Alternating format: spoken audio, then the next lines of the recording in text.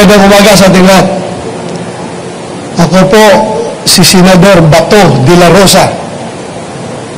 Tumatakbo ulit, nagpapare-elect ulit na magiging senador ng ating Republika ng Pilipinas. Given the chance na ako'y muling mananalo, rest assured that I will continue my, my advocacy on public order and uh, national national uh, defense and security. Uh, doon po ako magfo-focus.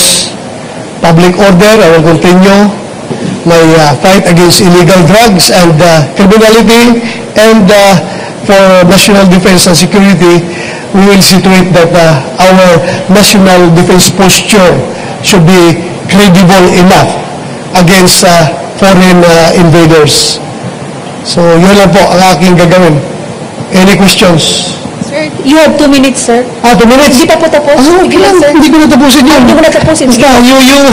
Okay, question na po. Sino magtatanong? Sige. Si Senator De La Rosa?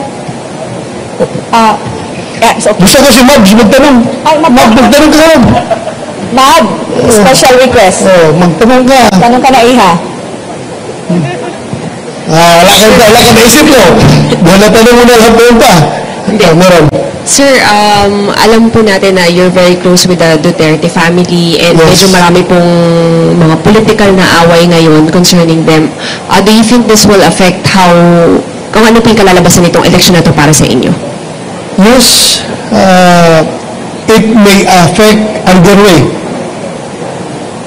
Either way. Pwede akong manalo o pwede akong matalo dahil dyan sa gulo na yan. But uh, I am more inclined to believe doon sa mananalo tayo. May, effect talaga ito. Plus minus ito, plus minus. Uh, effect ito. Ang alam ko naman ng Pilipino, um, Pilipino, yung mentalidad ng Pilipino ay jihadista. Makikita lang, pag binubugbog ka palagi, parang Fernando po Jr. ba? Di ba? Pag binubugbog ka palagi, naawa sa'yo yung taong bayan.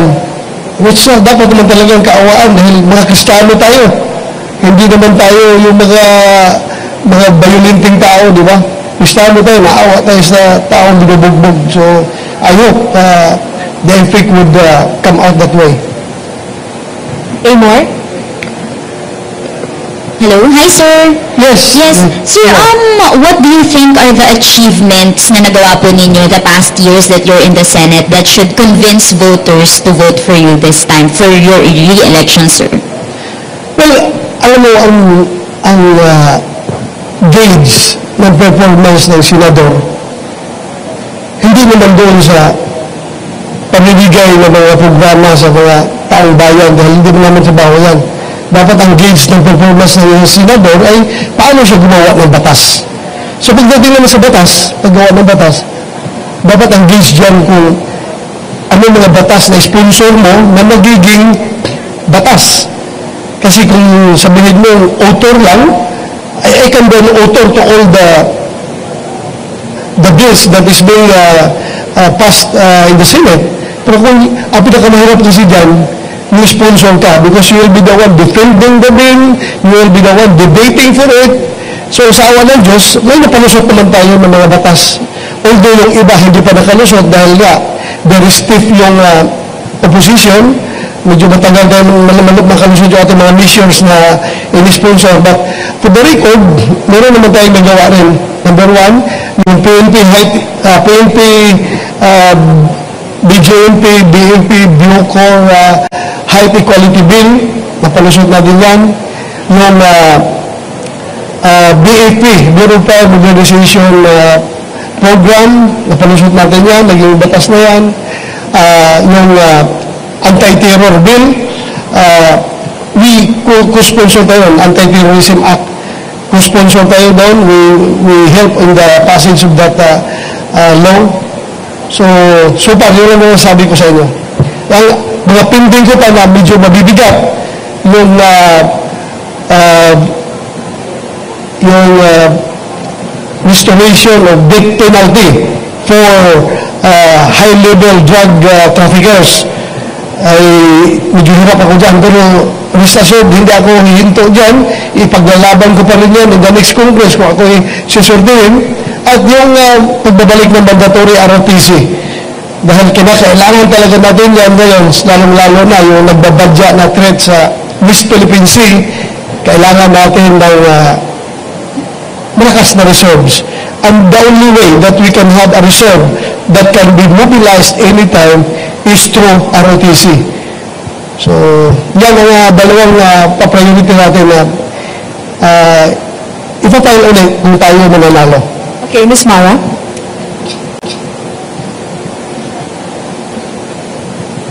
And Sir, Mara Cepeda from Singapore's Straits Times.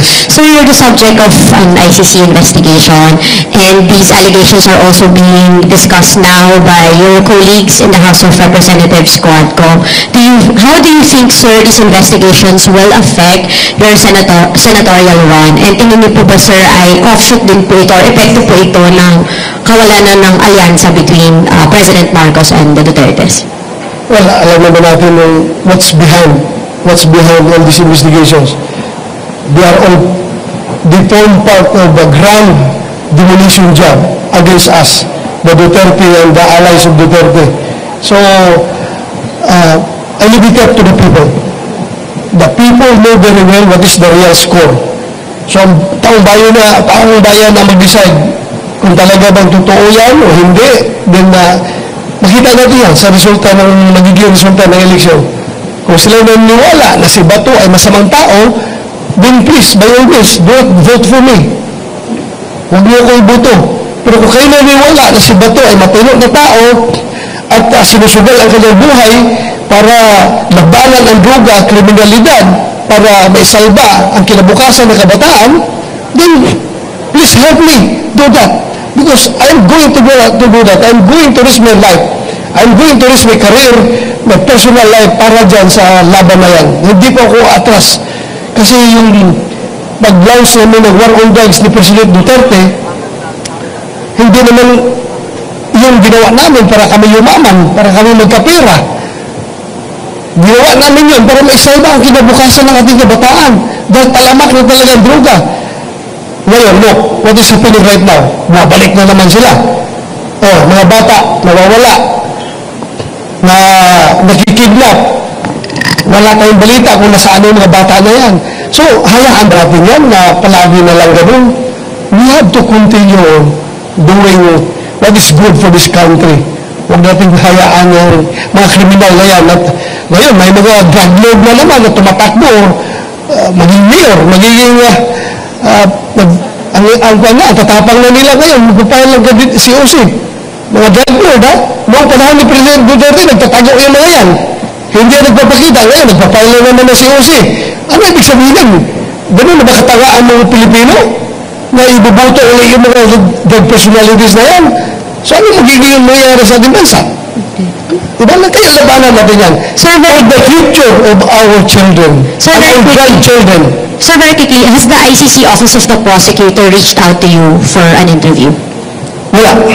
Meron, meron nag-contact sa opisina, pero in-ignore na namin. Dahil alam na namin na wala silang jurisdiction sa atin. May nagkukontak sa opisina ko, pero in-ignore namin. Hindi namin na hindi namin kinausap. Hindi namin pinatulan. Baka mamaya, mga gago-gago lang yun ng mga tao no, na sumasakay sa issue, no? Gawa ng pangalan na kuya, European daw sila na gustong mag-interview sa akin. Sabay-sabay, nung uh, pagputok ni, pagsabi ni Julianes nung uh, issue na yan, Meron nagtawag-tawag sa amin, sabi ko, huwag mo entertainin yan dahil baka mga siraulo lang yan na sumasakay sa issue. Okay na? Okay, okay na po, sir. Ha? Okay. Kukunti lang yung speech ko eh. Dapat dagdabihan nyo dito sa interview. Oh, interview. Oh. Questions ba? Wala na? last question. Yeah, Sige okay. po, last Sige. question. ABS Hi, sir. Good morning. Opo. Ayan, paborito ko to.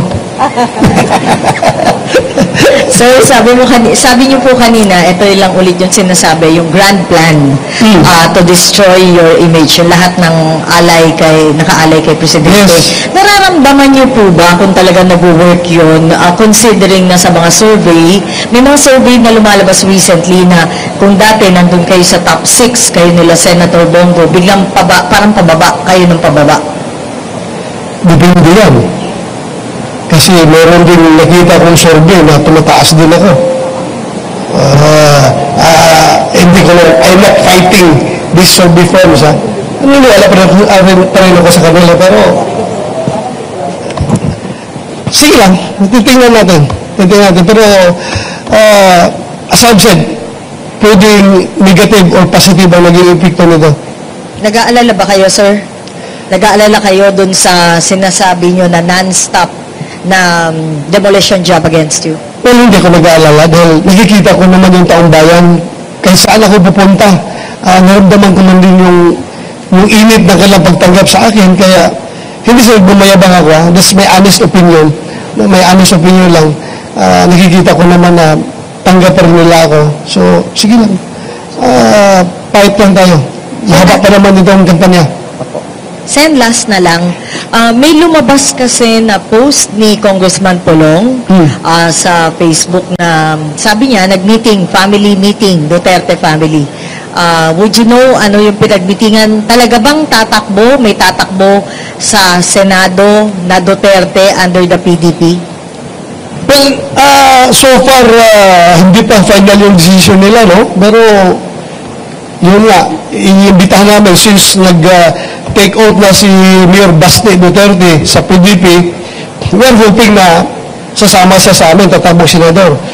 Pero ang requirement lang nila is, ah, dapat si Mayor, ah, si President Duterte ang tatakbong Mayor ng Davao. Pero mukhang uh, hindi pa na-finalize. So, yung last na national convention namin sa PDP sa Davao, tinanong ko si Mayor Basti kung sasama na. Sabi na, dapat, wala pang, wala pang final, wala, wala pa silang uh, napag-usapan. Okay. Okay? Maraming salamat po. Salamat, thank you. Salamat sa inyo. Salamat, Salamat sa- po.